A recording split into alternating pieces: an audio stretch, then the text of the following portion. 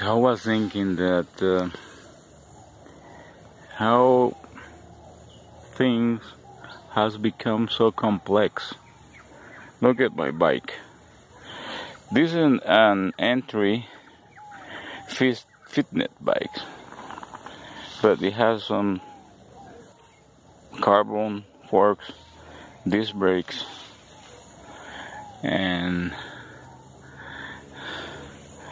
I have this uh, GPS which is half of the price of my other bike which give me the double of uh, function of the other brand. And it's half the price.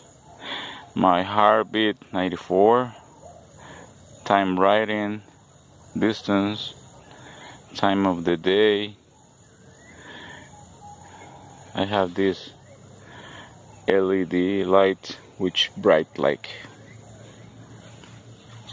the sun. Uh, clipless pedals on one side flat pedals on the other. My beautiful leg.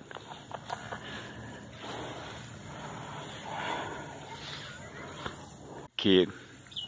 Uh, let's say uh, I was like uh, 12 years old. Uh, I have my Schwinn Tiger, and the time that uh, I go riding a bike was when I got back from school, and it was um, uh, from like two o'clock up to 7 o'clock p.m. That was the time that I have light, natural light out because uh, artificial light like this one wasn't very good. So now you have all these gadgets and things and and um, I'm doing this basically because I really like it, but mostly because I need it to be in shape. I'm too old. and uh, like I said, when I was a kid, it, it doesn't matter your tires, your brakes. I, I don't even have brakes sometimes. I use my shoes to brake with the wheel. And uh, use only three speeds sometimes. Maybe if the rear hub got broken only one speed. Man I wish things were more simple than they are now really. Just I'm just saying that you know I wish everything was just more simple. Way, way, way more simple. Not like this.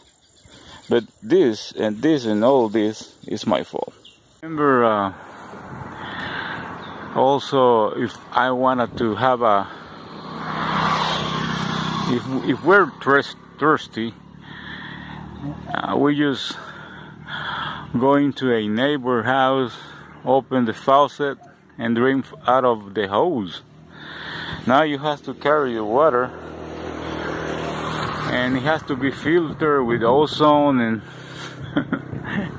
and look at my clothes, man. Spandex, lycra. I have gloves.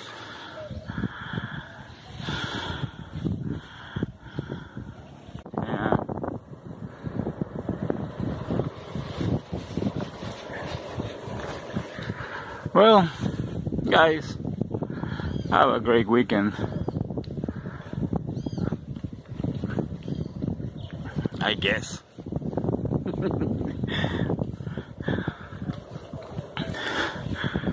oh, yeah.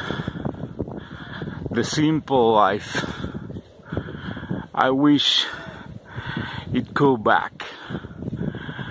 It could go back to me somewhere somewhat just a little bit.